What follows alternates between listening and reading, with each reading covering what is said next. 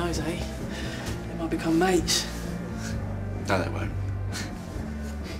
Let's just hope that your mum can get through to mine, eh? Yeah, listen, I should really go and pack. Now, Well, yeah. Well, unless you've got a better idea. why going to be this interesting in Dublin? Point taken.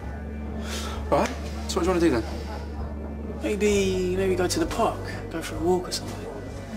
Who'd want to miss that? Hmm, You could even sell tickets.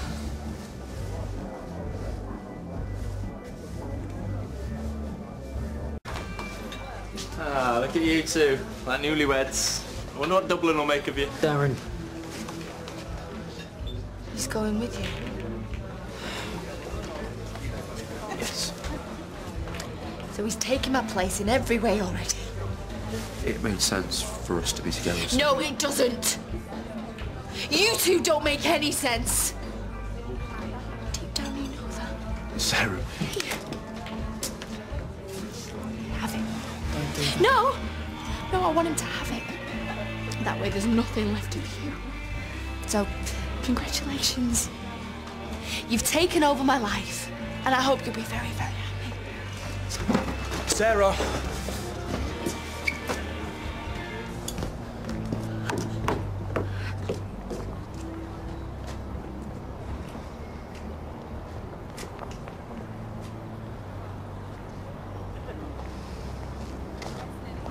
You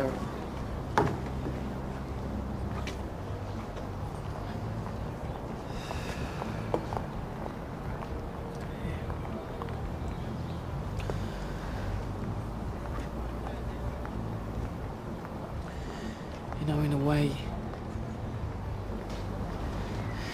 I wish I never met John Paul. It's like he's got some kind of a hold over you. He hasn't. I know you, Craig Dean. And the, the Craig Dean that I know is not gay. I just want you to have that.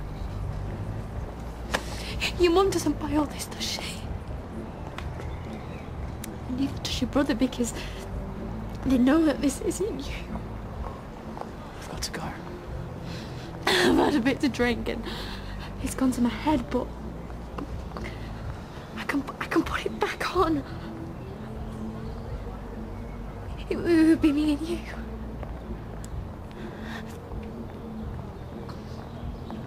Please.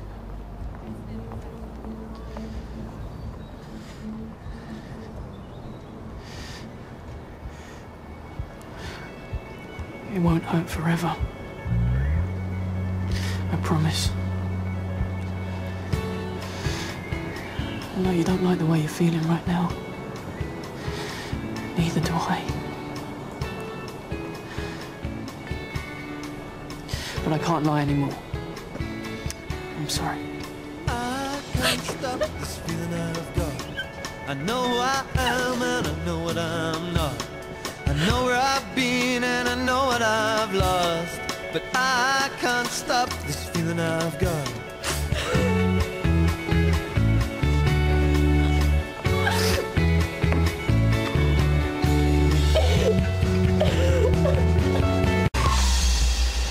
How'd it go? She's just a bit freaked out. You okay? We will be alright, you know. I know. After uni, I'll get a good job. Of course you will. Yeah. Be on good money. We can get a nice place, a home cinema, the works. Why do I suddenly feel like the wife in all this? What's that supposed to mean? It's just a joke. We never talk about stuff like this, do we? Do you ever think about when we were at school? You know, playing on different teams. Do you really want to talk about it? Okay. well, I had a girlfriend who was a, a model. A career ahead of me and the best mate I ever had. People were actually jealous of me for months. And I wasn't part of your Hollywood ending. I was angry that you were gay. I just didn't fit in with everything. And you met Spike.